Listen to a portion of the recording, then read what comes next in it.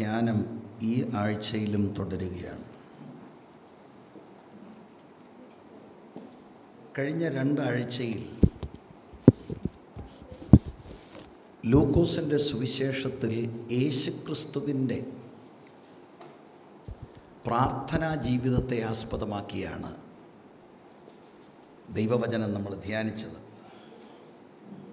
സുവിശേഷങ്ങളിലെല്ലാം കർത്താവിന്റെ പ്രാർത്ഥനാ ജീവിതത്തെക്കുറിച്ച് രേഖപ്പെടുത്തിയിട്ടുണ്ട് എങ്കിലും ലൂക്കോസിന്റെ സുവിശേഷമാണ് നമ്മൾ ധ്യാനത്തിനായി എടുത്തത്. അപ്പോൾ അതിൽ നിന്ന് നമ്മൾ മനസ്സിലാക്കിയത് ഒരു പേഴ്സണൽ പ്രെയർ നമുക്ക് ആവശ്യമാണ്. നമ്മൾ കുടുംബമായിട്ടിരുന്ന് പ്രാർത്ഥിക്കുന്നവരാണ്. അങ്ങനെയുള്ള പ്രാർത്ഥന വേണം എന്ന് നമ്മൾ പഠിച്ചിട്ടുണ്ട്. ജനറലി പ്രാർത്ഥനയുടെ പ്രാധാന്യത്തെക്കുറിച്ച് നമുക്കറിയാം. എന്നാൽ വ്യക്തിപരമായ ഒരു പേഴ്സണൽ പ്രയർ ഒരു ശിഷ്യന് ഉണ്ടായിരിക്കണം എന്നതാണ് കഴിഞ്ഞ രണ്ട് ആഴ്ചയിൽ നമ്മൾ ചിന്തിച്ചത്. ഒരു ശിഷ്യൻ എന്ന നിലയിൽ കർത്താവിനെ അനുഗമിക്കാൻ വിളിക്കപ്പെട്ടവരാണ് നമ്മൾ. കർത്താവിന്റെ സ്വഭാവത്തോട് അനുദിനം അനുരൂപമാകുക. അപ്പോൾ കർത്താവിന്റെ ലൈഫ് മിനിസ്ട്രിയും ഒക്കെ നമ്മൾ ശ്രദ്ധിക്കുമ്പോൾ ജീസസിന്റെ പ്രെയർ ലൈഫ് ഗോസ്പെൽസിൽ ആത്മാവിന് വളരെ ശക്തിയോട് നമ്മളോട് പറയാനുണ്ട്. നമുക്കത് അവഗണിക്കാനൊക്കത്തില്ല അതുപോലെ പ്ലെയിനാണ് അത്ര ക്ലാരിറ്റിയോടുകൂടിയാണ് ദൈവത്തിന്റെ വചനത്തിൽ ആ വിഷയം രേഖപ്പെടുത്തിയിരിക്കുന്നത്. അതുകൊണ്ട് പേഴ്സണൽ പ്രെയർ എന്ന വിഷയം യേശുവിന്റെ പ്രെയർ ലൈഫിനെ മോഡൽ ചെയ്തുകൊണ്ട് നമ്മൾ കഴിഞ്ഞ രണ്ടാഴ്ചയിൽ പഠിക്കുകയായിരുന്നു. കർത്താവിന്റെ പബ്ലിക് മിനിസ്ട്രിയുടെ ആരംഭത്തിൽ കർത്താവ് പ്രാർത്ഥിക്കുന്നു ശുശ്രൂഷയിൽ ഉടനീളം പ്രാർത്ഥിക്കുന്നു. ഏറ്റവും അവസാനം ക്രൂശിൽ കിടക്കുമ്പോഴും ജീസസ് പ്രാർത്ഥിക്കുന്നതായിട്ട് കഴിഞ്ഞ ആഴ്ചയിൽ നമ്മൾ പഠിക്കുകയുണ്ടായി. കർത്താവിനൊരു സ്ട്രോങ് പേഴ്സണൽ പ്രെയർ ലൈഫ് അവിടുത്തെ ഐഹിക ശുശ്രൂഷ കാലഘട്ടത്തിൽ ഐഹിക ജീവിതത്തിൽ ഉണ്ടായിരുന്നു. എന്നാൽ ഈ പല വാക്യങ്ങൾ ഞാൻ കഴിഞ്ഞ രണ്ടാഴ്ചകളിൽ വായിച്ചതിൽ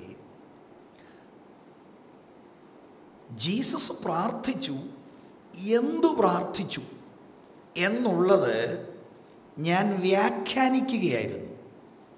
ഉദാഹരണം കർത്താവിന്റെ ശുശ്രൂഷയുടെ ആരംഭത്തിൽ യോഹന്നാന്റെ കൈക്കീഴിൽ സ്നാനമേറ്റ് ഉടൻ തന്നെ കർത്താവ് പ്രാർത്ഥിക്കുന്നു. സ്വർഗം തുറക്കുന്നു. പരിശുദ്ധാത്മാവ് പ്രാവ് എന്ന ദേഹരൂപത്തിൽ കർത്താവിന്റെ മേൽ ഇറങ്ങി വരുന്നു. എന്താ പ്രാർത്ഥിച്ചത്? അപ്പോൾ അവിടെ ഞാൻ വ്യാഖ്യാനിച്ചതാണ്. Probably he was praying for the anointing പക്ഷേ എന്താണ് അവിടെ പ്രാർത്ഥിച്ചതെന്ന് സൂക്ഷ്മമായി പഠിച്ചാൽ അവിടെ എഴുതിയിട്ടില്ല. അവിടെ ഉണ്ടായ ആ സംഭവത്തിന്റെ വെളിച്ചത്തിൽ വ്യാഖ്യാനിക്കുകയാണ്. ആ കോണ്ടെക്സ്റ്റിൽ നിന്നുകൊണ്ട് ഇന്നതാകാം എന്ന് ചിന്തിക്കുകയാണ്. അപ്പോൾ ഇങ്ങനെയായിരുന്നു പലയിടത്തും പ്രാർത്ഥിക്കുന്ന വാക്യങ്ങൾ ഞാൻ കാണിച്ചുവെങ്കിലും പ്രാർത്ഥന വാചകം എന്താണെന്ന് അവിടെ രേഖപ്പെടുത്തിയിട്ടില്ല. അത് ഞാൻ വ്യാഖ്യാനിക്കുകയായിരുന്നു. അത് തെറ്റാണെന്ന് പറയുകയല്ല. ആ കോണ്ടെക്സ്റ്റ് വെച്ച് നമ്മൾ അത് ചിന്തിക്കുകയായിരുന്നു. എന്നാൽ ഇന്ന് കർത്താവ് എന്തിനു വേണ്ടി പ്രാർത്ഥിച്ചു എന്നുള്ളതിന് വളരെ വ്യക്തമായ സൂചന തരുന്ന ഒരു വാക്യം. കഴിഞ്ഞ രണ്ടാഴ്ചകളിൽ പറയാത്തത് ഈ ലൂക്കോസിന്റെ സുവിശേഷത്തിൽ നിന്ന് നിങ്ങളുടെ മുൻപിൽ കൊണ്ടുവരാനാണ് ഞാൻ താല്പര്യപ്പെടുന്നത് ലൂക്കോസിന്റെ സുവിശേഷം ഇരുപത്തി രണ്ടാമത്തെ അധ്യായം. അതിന്റെ മുപ്പത്തി ഒന്ന് മുപ്പത്തിരണ്ട് ഈ വാക്യങ്ങൾ. Simon Simon Satan has as to sift all of you as wheat. But I have prayed for you Simon that your faith may not fail. And when you have turned back, strengthen your brothers. അത് മലയാളത്തിൽ വായിക്കാം. ഷീമോനെ ഷീമോനെ സാത്താൻ നിങ്ങളെ കോതമ്പ് പോലെ പാറ്റേണ്ടതിന് കൽപ്പന ചോദിച്ചു. ഞാനോ നിന്റെ വിശ്വാസം പോയിപ്പോകാതിരിക്കുവാൻ നിനക്ക് വേണ്ടി അപേക്ഷിച്ചു. എന്നാൽ നീ ഒരു സമയം തിരിഞ്ഞു വന്ന ശേഷം നിന്റെ സഹോദരന്മാരെ ഉറപ്പിച്ചുകൊള്ളുക. അപ്പോൾ കർത്താവ് പ്രാർത്ഥിച്ചു. പക്ഷെ വളരെ വ്യക്തമായി ലൂക്കോസ് പറയുന്നു എന്തിനു വേണ്ടിയാണ് പ്രാർത്ഥിച്ചത്? ഇവിടെ മാത്രമേ നമുക്ക് സുവിശേഷങ്ങളിൽ എന്തിനു വേണ്ടിയാണ് കർത്താവ് ഇവിടെ പ്രാർത്ഥിച്ചതെന്ന് വ്യക്തമാക്കുന്ന ഭാഗം ഇവിടെ മാത്രമേ കാണുവാൻ കഴിയുകയുള്ളൂ. ഇനി ആ ഭാഗത്തിലേക്ക് ഇറങ്ങുന്നതിന് മുമ്പ് നമുക്കതിന്റെ ബാക്ക്ഗ്രൗണ്ട് ഒന്ന് മനസ്സിലാക്കിയിരിക്കണം. ലൂക്കോസിന്റെ സുവിശേഷം ഇരുപത്തിരണ്ടെന്ന് പറയുമ്പോൾ ആ സീൻ അന്ത്യ അത്താഴത്തിന് കർത്താവ് ഇരിക്കുന്ന ഒരു സീനാണ്. പ്രാരംഭത്തിലല്ല അതിന്റെ ഏകദേശം പതിനാല് മുതലുള്ള വാക്യങ്ങളിൽ നമ്മളതാണ് കാണുന്നത്. ആദ്യത്തെ ആറ് വാക്യങ്ങളിൽ പന്തിരുവരിൽ ഒരാളായ യൂദാസ് ഇസ്കറിയോത്ത് കർത്താവിനെ കാണിച്ചു കൊടുക്കുവാനുള്ള ബീട്രേ ചെയ്യാനുള്ള എല്ലാ പരിപാടികളും ഇളക്കുകയാണ്. സാത്താൻ അവനിൽ കടന്നു എന്നൊക്കെ നമ്മളവിടെ കാണുന്നു. അപ്പോൾ ഇരുപത്തിരണ്ടാം അധ്യായത്തിന്റെ ആരംഭത്തിൽ തന്നെ സാത്താന്യ ശക്തികളുടെ ഒരു മൂവ്മെന്റ് നമുക്ക് കാണാൻ കഴിയും. ഏഴ് മുതൽ പതിമൂന്ന് വരെയുള്ള വാക്യങ്ങളിൽ കർത്താവ് പത്രോസിനെയും യോഹന്നാനെയും കൂടെ പെസഹ പ്രിപ്പയർ ചെയ്യുവാനായിട്ട് അയക്കുന്ന ഒരു രംഗമാണ് വളരെ സ്വകാര്യമായ ഒരു സ്ഥലത്ത്. നിങ്ങൾ പോകുമ്പോൾ ഇന്ന ഒരാളിനെ കാണും ആ ആളിനോട് പറയണം എന്നൊക്കെ പറഞ്ഞ് പാസ് ഓവർ പ്രിപ്പയർ ചെയ്യാൻ ഇൻ സീക്രട്ട് ഒരു പക്ഷെങ്കിൽ സമയത്തിന് മുൻപ് കർത്താവ് അറസ്റ്റ് ചെയ്യപ്പെടാതിരിക്കാൻ വേണ്ടിയായിരിക്കാം അങ്ങനെ ഒരു സീക്രസി എന്ന് നമുക്ക് ഗ്രഹിപ്പാനായിട്ട് കഴിയും. പതിനാല് മുതൽ മുപ്പത്തിയെട്ട് വരെയാണ് വാസ്തവത്തിൽ നമ്മൾ വായിച്ച വാക്യത്തിന്റെ ഇമ്മീഡിയറ്റ് കോണ്ടെക്സ്റ്റ് എന്ന് പറയുന്നത്. കർത്താവ് ശിഷ്യന്മാരുമൊത്ത് പന്തിയിൽ ഇരിക്കുകയാണ്. അന്ത്യത്താഴം കഴിക്കുന്ന ആ ഒരു ഭാഗമാണ്. അവിടെ നിന്നുകൊണ്ടാണ് ഞാൻ സംസാരിക്കാൻ താല്പര്യപ്പെടുന്നത്. എന്നാലും ഇരുപത്തിരണ്ടാം അധ്യായം എന്ന നിലയിൽ മുപ്പത്തൊൻപത് മുതൽ നാൽപ്പത്തി ആറ് വരെയുള്ള വാക്യങ്ങളിൽ ദ മൗണ്ട് ഓഫ് ഒലിവ്സിൽ കർത്താവ് പോയി പ്രാർത്ഥിക്കുന്നു. നാൽപ്പത്തേഴ് മുതൽ അൻപത്തി മൂന്ന് വരെ കർത്താവിനെ അറസ്റ്റ് ചെയ്യുന്നു. അൻപത്തിനാല് മുതൽ അറുപത്തിരണ്ട് വരെയുള്ള വേദഭാഗങ്ങളിൽ കർത്താവ് നമ്മൾ വായിച്ച കുറിവാക്യത്തിൽ പ്രവചിച്ചതുപോലെ തന്നെ പത്രോസ് കർത്താവിനെ തള്ളി പറയുകയാണ് അപ്പോൾ ഇത് കർത്താവിന്റെ ശുശ്രൂഷയുടെ ഏറ്റവും അവസാന ഘട്ടത്തിലാണ് ഈ ലൂക്കോസിന്റെ സുവിശേഷം ഇരുപത്തി രണ്ട് എന്ന് നമുക്ക് കാണാൻ കഴിയും. അറുപത്തി മൂന്ന് മുതൽ അറുപത്തി അഞ്ച് വരെയുള്ള വേദഭാഗത്തിൽ കർത്താവിനെ പിടിച്ചുകൊണ്ടുപോയ ഗാർഡ്സ് ഒക്കെ കർത്താവിനെ മോക്ക് ചെയ്യുന്നതായിട്ട് കാണുന്നു. അറുപത്തിയാറ് മുതൽ എഴുപത്തി ഒന്ന് വരെ കർത്താവ് പീലോ പീലാത്തോസിന്റെയും ഹേരോദാവിന്റെ മുൻപിൽ നിൽക്കുക. അപ്പോൾ ഇതാണ് ട്വന്റി സെക് സെക്കൻഡ് ചാപ്റ്ററിന്റെ സമ്മറി. അതിൽ നമ്മൾ പതിനാല് മുതൽ ഉള്ള വേദഭാഗം ആണ് അതിന്റെ ഇമ്മീഡിയറ്റ് കോണ്ടെക്സ്റ്റ് പതിനാല് മുതൽ മുപ്പത്തിയെട്ട് വരെയുള്ള വേദഭാഗം. അവിടെ നിന്നുകൊണ്ടാണ് നമ്മൾ ഈ മുപ്പത്തിയൊന്ന് മുപ്പത്തിരണ്ട് വാക്യങ്ങളെ മനസ്സിലാക്കേണ്ടത്. ഇപ്പം immediate context it's a warning at the table Simon Simon Satan has as to sift all of you as wheat മലയാളത്തിൽ ഒന്നുകൂടെ മുപ്പത്തി ഒന്നാം വാക്യം.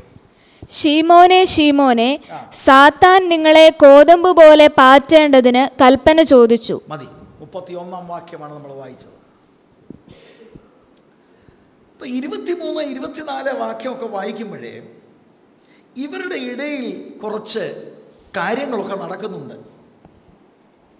They began to question among themselves which of them it might be who would do this കർത്താവ് ഒറ്റിക്കൊടുക്കുന്ന ആളിനെ കുറിച്ച് പറയുമ്പോൾ അവർ തമ്മിൽ ഡിസ്കസ് ചെയ്യുമ്പോൾ ഒരു പക്ഷെങ്കിൽ പത്രോസ് തന്റെ ചിന്തകൾ അവിടെ ഉറക്കെ പ്രഖ്യാപിച്ച് കാണും. ഏതായാലും ഞാനല്ല ഒറ്റ കൊടുക്കുന്നത് പോസിബിളി ഇരുപത്തിനാലിൽ a dispute also rose among them as to which of them was considered to be the greatest ഒറ്റിക്കൊടുക്കുന്നത് ഞാനല്ല. ഇതിനകത്ത് ഏറ്റവും വലിയ ആൾ ഞാനാണ് എന്ന് പത്രോസ് ചിന്തിച്ചോ കാണാൻ സാധ്യതയുണ്ട്. അപ്പൊ അതാണ് രംഗം. എന്നിട്ട് ഇരുപത്തിയെട്ട് മുതൽ മുപ്പത് വരെയുള്ള വാക്യങ്ങളിൽ കർത്താവ് വാസ്തവത്തിൽ ജനറസ് ആയിട്ട് അവരെ ശ്ലാഹിക്കുകയാണ് പ്രൈസ് ചെയ്യുകയാണ്. You are those who have stood by me in my trials എന്റെ ശോധനകളിൽ നിങ്ങൾ എന്റെ കൂടെ നിന്നവരാണ്.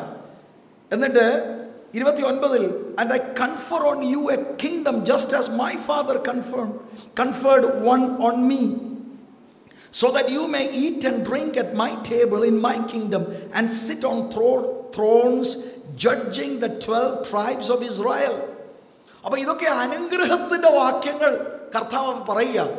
പെട്ടെന്ന് കർത്താവ് പറയുക സൈമൺ വാച്ച് ഔട്ട്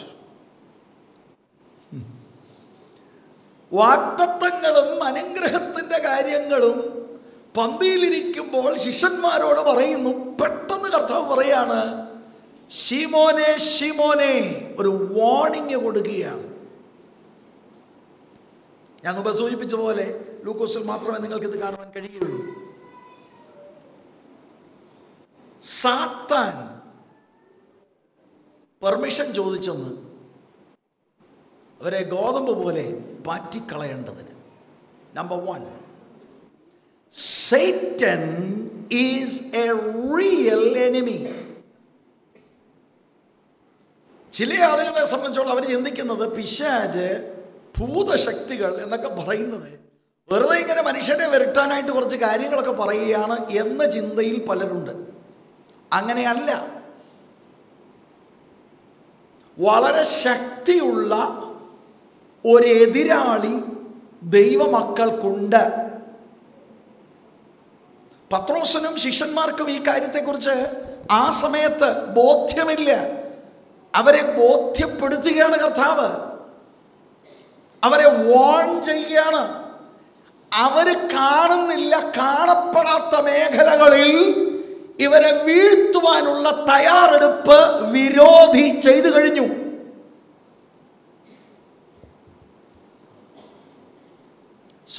റിയൽ അധികം ശക്തിയുള്ള ഒരു എതിരാളിയാണ് ദൈവമക്കൾക്കുള്ളത്.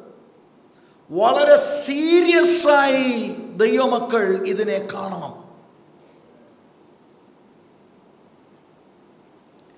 ഞാൻ പലപ്പോഴും നിങ്ങളോട് പറഞ്ഞിട്ടുണ്ട് അന്ത്യകാലഘട്ടത്തിൽ അപ്പോസ്റ്റസി നടക്കും വിശ്വാസത്യാഗം സംഭവിക്കും. പല കാരണങ്ങളുണ്ട്. പ്രധാനമായി മൂന്ന് കാരണങ്ങൾ. ഒന്ന് ടെംപ്റ്റേഷൻ രണ്ട് ഡിസെപ്ഷൻ മൂന്ന് പേഴ്സിക്യൂഷൻ ഇതിന്റെ എല്ലാം പിൻപിൽ ശത്രുവായ പിശാജാണ് പ്രവർത്തിക്കുന്നത്. എന്തിന്? മനുഷ്യരുടെ ഉള്ളിൽ യഥാർത്ഥ തിരുവെടുത്തനുസരിച്ചുള്ള വിശ്വാസം ഇല്ലാതെ പോകുവാൻ. ഇല്ലാതെ പോയാലും കാപഠ്യത്തിൽ ഉണ്ടെന്ന് നടിക്കാം. അപ്പം ഒരു എതിരാളി ദൈവമക്കൾക്കുണ്ട്. ദൈവസഭയ്ക്ക് ഒരു എതിരാളിയുണ്ട് കർത്താവിനൊരു എതിരാളിയുണ്ട് ദൈവരാജ്യത്തിനെതിരെ പ്രവർത്തിക്കുന്ന ഒരു എതിരാളിയുണ്ട് നാം ദൈവരാജ്യത്തിലെ അംഗങ്ങൾ എന്ന നിലയിൽ ഈ വേദഭാഗം വായിക്കുമ്പോൾ ഒന്നാമത് മനസ്സിലാക്കേണ്ടത് ക്രിസ്തീയ ജീവിതം പോർക്കളത്തിലാ കളിക്കളമല്ലിത് ഇന്നത്തെ പാഠം ദൈവമക്കൾ വളരെ സീരിയസ് ആയി ചിന്തിക്കണം എന്ന് ഞാൻ നിങ്ങളോട് അപേക്ഷിക്കുകയാണ്. ഷീമോനെ ഷീമോനെ എന്ന് പറഞ്ഞ് തുടങ്ങുന്ന രണ്ട് തവണ ആവർത്തിച്ച് പത്രോസിന്റെ പേര് പറയുകയാണ്. ട്വൈസ് അതെന്തിനാ ഇങ്ങനെ റിപ്പീറ്റ് ചെയ്യുന്നത്? ജീസസ് എന്തോ വളരെ സീരിയസ് ആയിട്ട് അവരോട് സംസാരിക്കാൻ പോവുകയാണ്. സജി സജി ജോസെ ജോസെ. സജി എന്ന് വിളിച്ചാൽ മതിയായിരുന്നു. റിപ്പീറ്റഡ് ആയിട്ട് പറയുമ്പോൾ something he wants to communicate that's very serious ആ വാക്കുകൾ ഇങ്ങനെ ആ പേരിങ്ങനെ റിപ്പീറ്റഡ് ആയിട്ട് പറയുമ്പോൾ it adds weight to the warning അവരോട് പറയാൻ പോകുന്ന വാണിംഗ് ആയിട്ടുള്ള മുന്നറിയിപ്പിന് കുറച്ചുകൂടെ ഘനവും ശക്തിയും പകരുന്നോ ആണ് ഈ രണ്ട് തവണ പറയുക ഷീമോനെ ഷീമോനെ എന്ന് എടുത്തു പറയുന്നതായിട്ട് നമുക്ക് കാണാൻ കഴിയും. എന്നിട്ട് കർത്താവ് ഒരു വെളിപ്പാടാണ് പറയുന്നത്.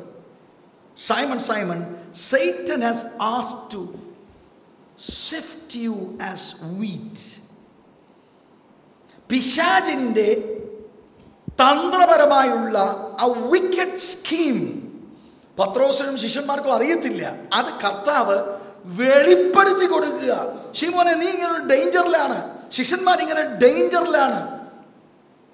എന്താ അതിന്റെ അർത്ഥം? പത്രോസെ you are involve in spiritual warfare നീ ഒരു ആത്മീകമായ യുദ്ധത്തിലാണ് പത്രോഷേ.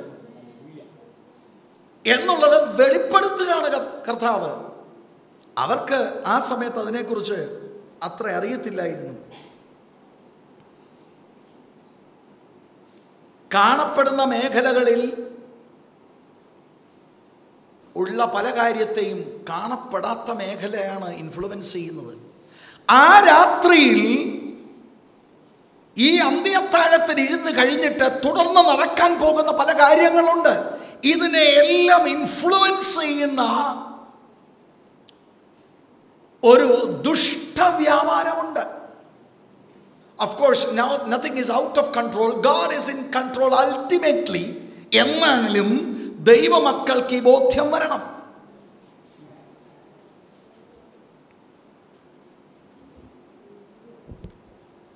എന്താ പത്രോസിന്റെ പേര് എടുത്തു പറയാൻ കാരണം? ഞാൻ ആ വാക്യം ഒന്നുകൂടെ വായിക്കുമ്പോൾ ഒരു കാര്യം പറയാം. മലയാളത്തിൽ ഒന്ന് വായിച്ച്. ഷിമോനെ ഷിമോനെ. ഷീമോനെ ഷീമോനെ സാത്താൻ നിങ്ങളെ കോതമ്പ് പോലെ പാറ്റേണ്ടതിന് സാത്താൻ നിങ്ങളെ എന്നുള്ളൊരു വാക്ക് അവിടെ എഴുതിയിട്ടുണ്ട്. നിങ്ങളെ എന്ന് പറഞ്ഞ പ്ലൂറൽ നിങ്ങളെ മുഴുവൻ എണ്ണത്തെയും. ചില തർജിമയിൽ യു എന്ന് മാത്രമേ കാണൂ. നമ്മൾ ഓർക്കും just just Peter no all the disciples നിങ്ങളെ മുഴുവൻ എണ്ണത്തെയും പാറ്റാൻ പോവുകയാണ്. പിന്നെന്താ പത്രോസിനോട് പേരെടുത്ത് ഇങ്ങനെ കർത്താവ് പറയാൻ കാരണം? ഒരു പക്ഷെങ്കിൽ ഞാൻ മുൻപ് ഓർപ്പിച്ചതുപോലെ ഇരുപത്തിമൂന്ന് ഇരുപത്തിനാല് വാക്യങ്ങളിലെ ഡിബേറ്റിലെയൊക്കെ പ്രധാനപ്പെട്ട പുള്ളി പത്രോസ് ആയിരിക്കാനാണ് സാധ്യത. അതുകൊണ്ടായിരിക്കും അവന്റെ പേരെടുത്തു പറഞ്ഞത്. ഒരു പക്ഷെങ്കിൽ ഈ സാത്താന്യ അറ്റാക്കിൽ ഏറ്റവും സഫർ ചെയ്യാൻ പോകുന്നത് പീറ്റർ ആയതുകൊണ്ടായിരിക്കാം. മറ്റൊരു ചിന്ത നമുക്ക് പൊതുവേ അറിയാം ഈ പന്ത്രണ്ട് പേരുടെ നേതാവ് പത്രോസാണ്. He's a spokesman for the twelve disciples അതുകൊണ്ടായിരിക്കാം പീറ്ററിന്റെ പേര് എടുത്തു പറഞ്ഞത്. പക്ഷേ എല്ലാവരെയും പാറ്റാൻ പോവുകയാണ്. ഇത് നമ്മൾ വളരെ സീരിയസ് ആയിട്ട് ചിന്തിക്കണം. എന്തുകൊണ്ടാണ് പല കുടുംബത്തിൽ പല കാര്യം നടക്കുന്നത്? എന്തുകൊണ്ടാണ് തലമുറകളിൽ പല കാര്യം നടക്കുന്നത്? എന്തുകൊണ്ടാണ് നമ്മുടെ ജീവിതത്തിൽ പല കാര്യങ്ങൾ നടക്കുന്നത്? എല്ലാം ചെയ്തിട്ടും പലതും ഔട്ട് ഓഫ് കൺട്രോൾ പോലെ തോന്നുന്നത് എന്തുകൊണ്ടാണ്? വിസിബിൾ മേഖലയിൽ നടക്കുന്ന പല കാര്യത്തെയും ഇൻഫ്ലുവൻസ് ചെയ്യുന്നത് കാണപ്പെടാത്ത മേഖലയിൽ നമുക്കൊരു ശത്രുവുണ്ട്. ജീസസിന്റെ വാക്കുകളാണ്. ഞാനത് നമുക്ക് അപ്ലൈ ചെയ്ത് പറഞ്ഞു എന്ന് മാത്രം.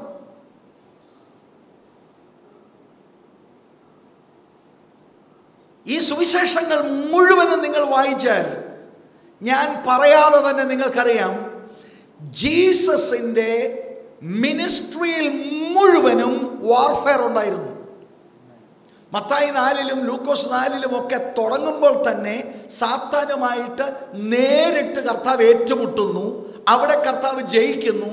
പിന്നീട് മുഴുവൻ ഇടങ്ങളിലും he was casting out demons കർത്താവിന്റെ ശുശ്രൂഷയിലെ വളരെ പ്രധാനപ്പെട്ട ഒരു ശുശ്രൂഷയായിരുന്നത് എന്താ അത് കാണിക്കുന്നത്? ദൈവത്തിന്റെ രാജ്യം ഭൂമിയെ ഇൻവൈഡ് ചെയ്യുമ്പോൾ ഇരുട്ടിന്റെ രാജ്യം പ്രത്യക്ഷത്തിൽ വെളിപ്പെടുകയാണ്.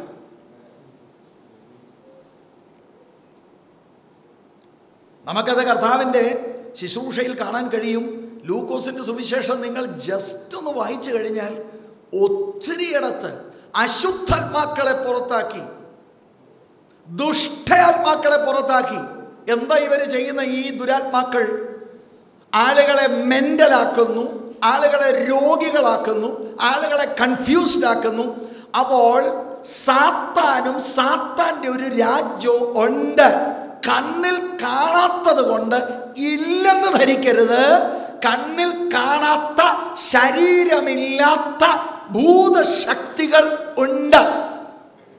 ആ ശക്തികൾ പിശാജിന്റെ നേതൃത്വത്തിൽ ഇന്നും പ്രവർത്തിച്ചു കൊണ്ടിരിക്കുന്നു സഭയ്ക്കെതിരെ ദൈവമക്കൾക്കെതിരെ. നമ്മൾ അതിനെക്കുറിച്ച് ബോധവാന്മാരാകണം. ലൂക്കോസിന്റെ സുവിശേഷം ഒൻപതിന്റെ ഒന്ന് രണ്ടാം വാക്യത്തിൽ പന്തിരുവർക്ക് അവരെ മിഷൻസിൽ അയക്കുമ്പോൾ അധികാരവും ശക്തിയും കൊടുത്തു. എന്നാണ് അവിടെ എഴുതിയിരിക്കുന്നത്. അധികാരവും ശക്തിയും കൊടുത്തു എന്ന്. എന്തിന്? അവൻ പന്തിരുവരെ അടുക്കൽ വിളിച്ചു. സകല ഭൂതങ്ങളുടെ മേലും വ്യാധികളെ സൗഖ്യമാക്കുവാനും അവർക്ക് ശക്തിയും അധികാരവും കൊടുത്തു. അതോറിറ്റിയും പവറും വേണം. ജീസസ് കൊടുത്തു. പന്ത്രണ്ട് പേർക്ക്. ഇനി അവർക്ക് വേണ്ടി മാത്രമല്ല പത്താം അധ്യായത്തിന്റെ ഒന്നാം വാക്യം ഒൻപതാം വാക്യം പതിനേഴ് മുതൽ ഇരുപത് വരെയുള്ള വാക്യം. പിന്നീട് ഒരു എഴുപത് ഉപദേശിമാർ അല്ലെ എഴുപത്തിരണ്ടെന്ന് നിങ്ങൾ ചിന്തിച്ചോ? അവർക്കും ഭൂതങ്ങളുടെ മേൽ അധികാരം കൊടുത്തു. അപ്പൊ ഇതെല്ലാം എന്താ കാണിക്കുന്നത്? ജീസസിന്റെ മിനിസ്ട്രിയിൽ he was confronting evil forces Jesus ഇതിനെക്കുറിച്ച് പഠിപ്പിച്ചു. എന്നിട്ട് ജീസസ് മിഷൻസിന് പന്ത്രണ്ട് പേരെ എഴുപത് പേരെയും അയക്കുമ്പോൾ അവരോടും പറയുകയാണ്. അവർ സുവിശേഷീകരണത്തിന് പോകുമ്പോൾ ഇങ്ങനെ ഒരു എതിർ ശക്തിയുണ്ട്. വേറൊരു രാജ്യമുണ്ട് ഒരു ഇരുട്ടിന്റെ രാജ്യം നിങ്ങളെ ഒപ്പോസ് ചെയ്യും. നിങ്ങൾക്ക് ഞാൻ അധികാരം തരികയാണ് ശക്തി തരികയാണ്. You got to do war ശിമോനെ ശിമോനെ. സൈറ്റൻ ഹാസ് ആസ് ടു ഷിഫ്റ്റ് സിഫ്റ്റ് യു എന്ന് പറയുമ്പോൾ ആ ശിമോനായിരിക്കും ശിഷ്യന്മാരെ. നോ ഇത് നമുക്ക് അപ്ലൈ ചെയ്യണം. കളിക്കളത്തിലല്ല. കുടുംബ പ്രാർത്ഥനയിൽ കോട്ടുവായിട്ടിരിക്കും വ്യക്തിപരമായ പ്രാർത്ഥന ഉണ്ടോ ഇല്ലയോ എന്ന് അവരവർക്കറിയാം. ആത്മീക ജീവിതം കണ്ണു തുറക്കണം നമുക്ക് നമുക്കെതിരാളിയുണ്ട്. കൈവക്കി രക്ഷിക്കപ്പെട്ടു. ഒന്ന് രണ്ട് വാക്കുകളൊക്കെ പറഞ്ഞു. ദാറ്റ്സ് ഫൈൻ അതൊക്കെ വേണം. അതെല്ലാം ഉള്ളതാ. പക്ഷേ അനുദിനം നമ്മൾ പോർക്കളത്തിലാണ്. അതിൽ സാത്താൻ മുഴുവലത്തോടെ വിശുദ്ധന്മാരെ തകർക്കാൻ പദ്ധതിയുണ്ട്. ടെംപ്റ്റേഷൻസ് അയച്ചു എന്ന് വരാം. ഡിസെപ്ഷൻസ് അയച്ചു എന്ന് വരാം.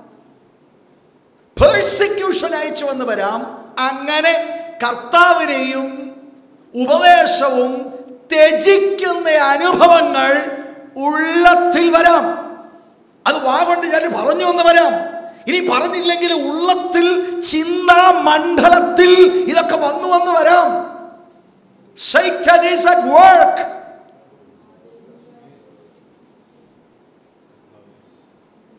Praise the Lord. എതിരാളിയെക്കുറിച്ച് അറിയില്ല. എതിരാളിയുടെ പ്രവർത്തന രീതി അറിയത്തില്ല.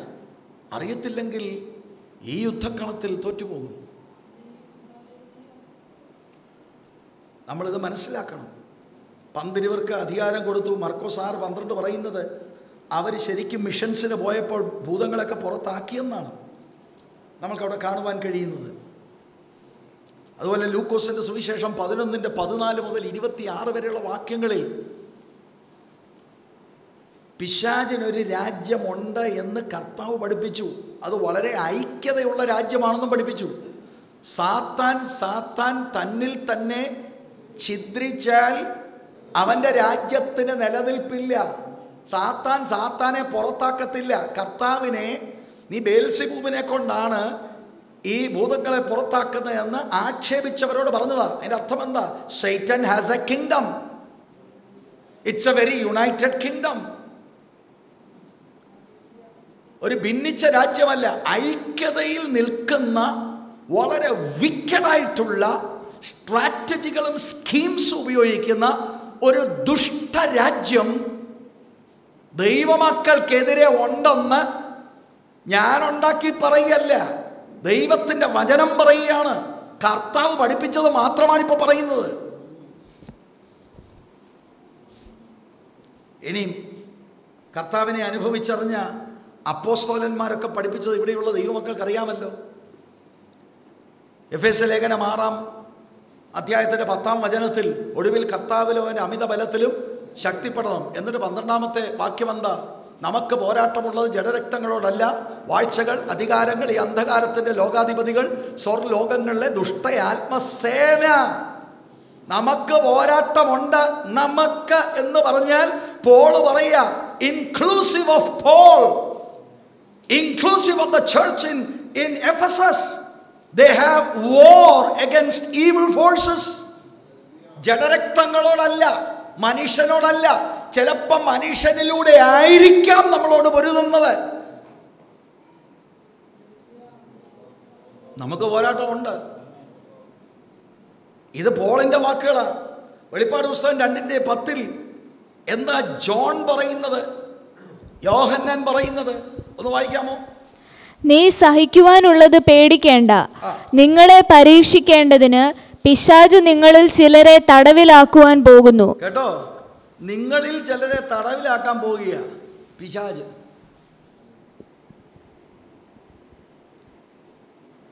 ഈ പത്രോസിനോടാണല്ലോ ഇപ്പൊ പറയുന്നത്. ഈ പത്രോസ് ഒരു പത്ത് മുപ്പത് വർഷം കഴിഞ്ഞ് ലേഖനം എഴുതി അറിയിക്കുമ്പോൾ ഒന്ന് പത്രോസ് അഞ്ചിന്റെ എട്ടെന്താ പറയുന്നത്? ഉണർന്നിരിപ്പീൻ. നിങ്ങളുടെ പ്രതിയോഗിയായ പിശാജ് അലറുന്ന സിംഹം എന്ന പോലെ ആരെ വിഴുങ്ങേണ്ടു എന്ന് തിരിഞ്ഞ് ചുറ്റി നടക്കുന്നു. കേട്ടോ? പോൾ പറഞ്ഞതും ജോൺ പറഞ്ഞതും പീറ്റർ പറഞ്ഞതും കർത്താവ് പറഞ്ഞു ശിഷ്യന്മാർക്ക് അധികാരം കൊടുത്തു. ഇതെല്ലാം കാണിക്കുന്നത് എന്താ? കുഞ്ഞുങ്ങളെ വളർത്തുമ്പോൾ കുടുംബജീവിതം നയിക്കുമ്പോൾ ദൈവസഭയോടുള്ള ബന്ധത്തിലെല്ലാം മനസ്സിലാക്കണം. ഭയങ്കര എതിരാളി നമുക്കുണ്ട്. ക്രിസ്ത്യൻ ലൈഫ് കാഷ്വലായി എടുക്കരുത്. കാഷ്വലായി എടുക്കരുത്. അന്ത്യത്താഴത്തിന് ഇരിക്കുമ്പോൾ വളരെ ഗൗരവമേറിയ ഒരു വെളിപ്പാടാണ് ജീസസ് പീറ്ററിനോട് പറയുന്നത് സൈമൺ സൈമൺ സാത്താൻ നിന്നെ പാറ്റാൻ പോകുകയാ ശിഷ്യന്മാരെ എല്ലാം പാറ്റാൻ പോകുകയാണ്. ഒന്നാമത് നിങ്ങളുടെ മുൻപിൽ ഞാൻ കൊണ്ടുവന്നത് Satan is a real enemy Satan has a kingdom demons work for Satan